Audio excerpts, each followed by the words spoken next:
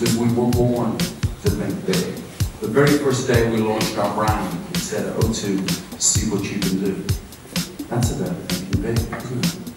We then moved on and said, O2, we're better connected. That's about bringing people together so that they can do things together, whether it be here, in the Wayra Academy or elsewhere. That's about thinking big.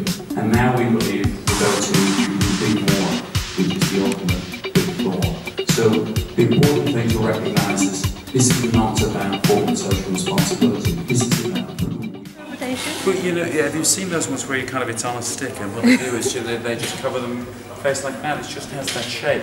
It's a bit like the way the Oscars are done. You know the way the the, the whatever it's called of the face face yeah death mask or whatever it is for the Oscar things as well.